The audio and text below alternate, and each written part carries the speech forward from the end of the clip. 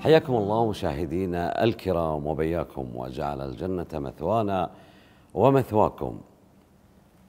السلام عليكم ورحمة الله وبركاته. نسعد باصطحابكم معنا في برنامج الملخص.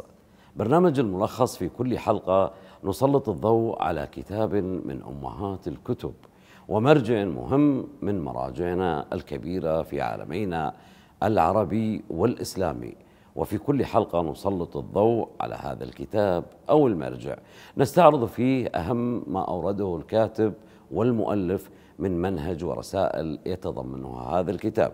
وكذلك نستعرض سيرة ومسيرة المؤلف فنتعرف أكثر وأكثر على خط سيره في الكتابة وما يريد إيصاله من هذا الكتاب.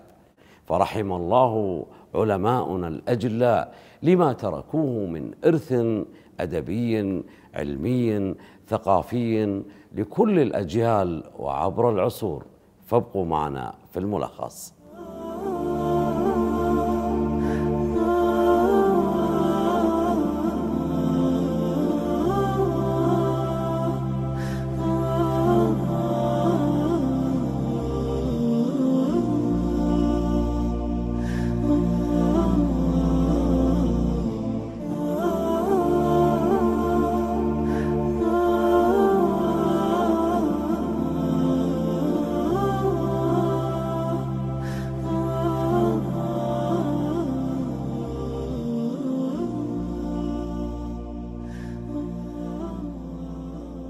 أهلا وسهلا بكم مشاهدينا الكرام وهذه الحلقة التي تجمعنا بكم من الملخص. وفي هذه الحلقة سنسلط الضوء على كتاب التمهيد لما في الموطأ من المعاني والأسانيد للإمام ابن عبد البر. فمن هو الإمام ابن عبد البر؟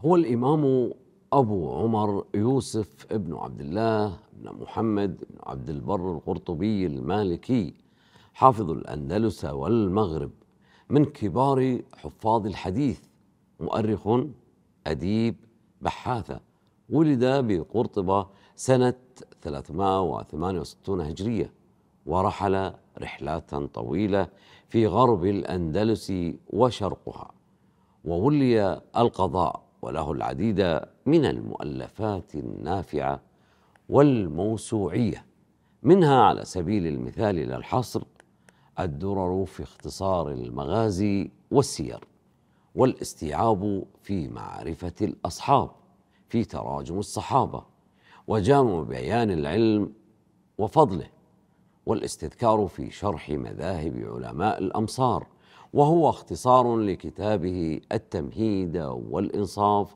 فيما بين العلماء من الاختلاف وغيرها. وتوفي رحمه الله بشاطبة سنة 463 هجريا فرحم الله عالمنا الجليل رحمة واسعة. كتاب التمهيد لما في الموطأ من المعاني والأسانيد.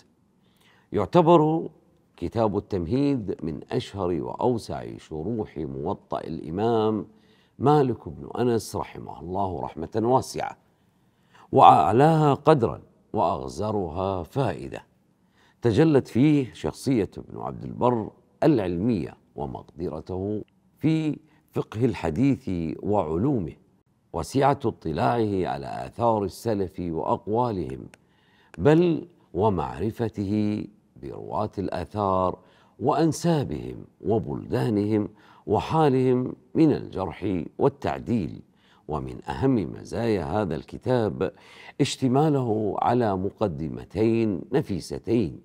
يمكن اعتبارهما مدخلا ضروريا لفهم مقاصد الكاتب واستنباط فوائد الكتاب. فتحدث في أولهما عن بعض أنواع علم الحديث.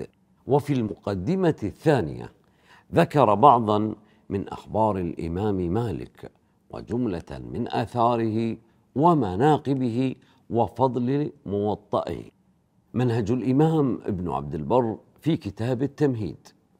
بالنظر في منهج الكتاب نجد أن ابن عبد البر سلك فيه طريقا فريدة لم يسلكها أحدا قبله حيث جمع الكتاب كل ما تضمنه موطأ الإمام مالك رحمه الله برواية يحيى ابن يحيى الليثي عنه من حديث رسول الله صلوات ربي وسلامه عليه وعلى آله وصحبه أجمعين وكل ما يمكن إضافته إليه وقسم هذا الترتيب إلى مراتب قدم فيها المتصل ثم ما جرى مجراه مما اختلف في اتصاله وهكذا.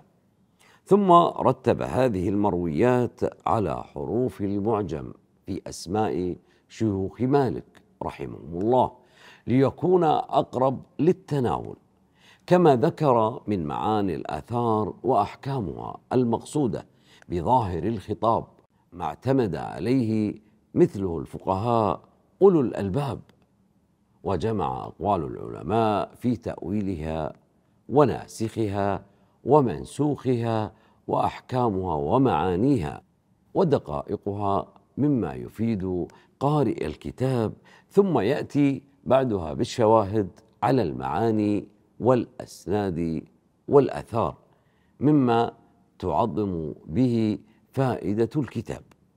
وأشار إلى شرح ما الغريب من الألفاظ مقتصرا على أقوال أهل اللغة ونبه على بعض أحوال الرواة وأنسابهم وبلدانهم وتاريخ وفاتهم معتمدا في ذلك كله على الاختصار ولعل من أهم مميزات منهج ابن عبد البر في كتاب التمهيد هي سلوك مسلك أهل الحديث في عدم تقيده برأي معين وترجيح ما قواه الدليل والنظر والاجتهاد ومنها أيضا اقتصاره في شرح ما ورد عن الرسول صلى الله عليه وعلى آله وصحبه أجمعين.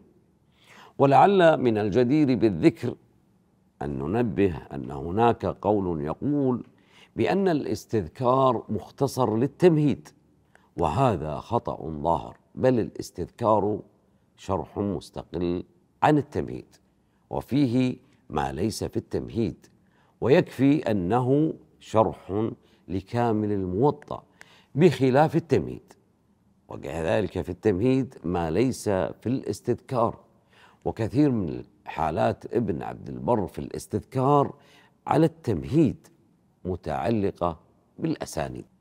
وقد أفصح عالمنا الجليل ابن عبد البر في مقدمة الكتاب عن السبب والدافع له لتأليف هذا التمهيد فقال فإني رأيت كل من قصد إلى تخريج ما في موطأ مالك بن أنس من حديث رسول الله صلى الله عليه وعلى آله وصحبه وسلم قصد بزعمه إلى المسند وأضرب عن المنقطع والمرسل فلم أرى جامعية وقفوا عند ما شرطوه ولا سلم لهم في ذلك ما أملوه بل أدخلوا من المنقطع شيئا في باب المتصل وأتوا بالمرسل مع المسند إلى أن قال رأيت أن أجمع في كتابي هذا ما تضمنه موطأ مالك بن أنس في رواية يحيى ابن يحيى الليثي عنه من حديث رسول الله صلى الله عليه وسلم. مسنده ومقطوعه ومرسله وكل ما تمكن إضافته إليه صلوات الله وسلامه عليه. وضح ابن عبد البر منهجه في كتابه وفق لعلنا أن نستعرض أهم ما جاء في هذا المنهج فكان يجمع أحاديث كل راو في مسند ورتب الرواة بحسب الترتيب الأبجدي لأسمائهم.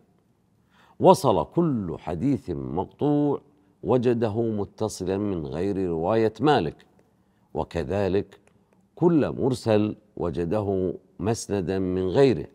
جمع اقاويل العلماء في صحة الأحاديث وتأويلها وأحكامها وناسخها ومنسوخها وشروحها وجمع ما يعرف من الأثر المتعلق بمعاني الأحاديث والإسناد وتحدث باستفاضة عن بعض الرواة وجمع بعض القواعد والفوائد في بداية كتابه عن علوم الحديث.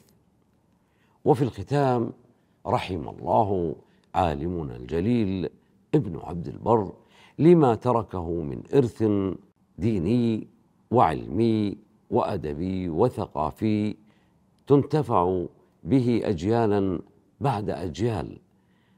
وصلى الله وسلم وبارك على نبينا محمد وعلى آله وصحبه أجمعين. وحتى نلتقيكم بمشيئة الله مشاهدينا الكرام في كتاب جديد وعالم جليل من علمائنا الأجلاء في برنامج الملخص. إلى ذلك الحين نترككم في أمان الله ورعايته. إلى اللقاء.